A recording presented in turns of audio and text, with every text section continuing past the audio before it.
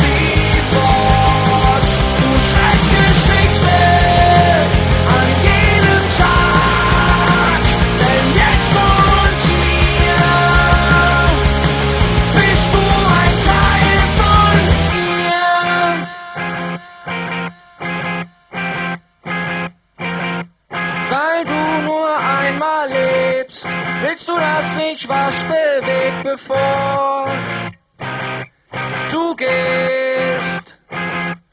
Bevor du gehst.